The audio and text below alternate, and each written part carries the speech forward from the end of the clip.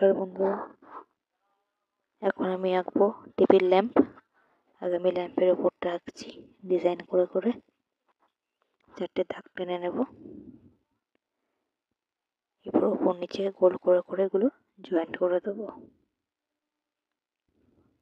নিচটাও সেমভাবে করে দিচ্ছি। ভিতরে একটু গোল গোল করে নেব। এরপর নিচে আমি স্টিক টাকছি বেঁকিয়ে স্ট্যান্ডের নিচটা আঁকছি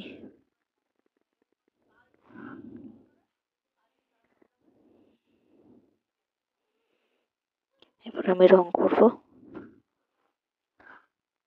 ল্যাম্পের উপরের থাকটা আমি কমলা রঙের করছি। নিচটা হলুদ রঙের করব।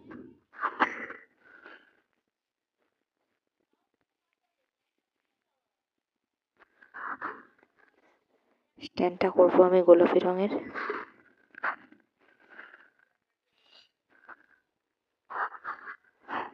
মাঝখানে আমি চৌকোটা হলুদ রঙের করলাম। এরপর নিচটা করছি আমি সবুজ রঙের, হালকা সবুজ। আর তার নিচে আমি ডিপ কালারের সবুজ রং করছি। ভিডিওটি ভালো লাগলে পাশে থাকবে। ধন্যবাদ।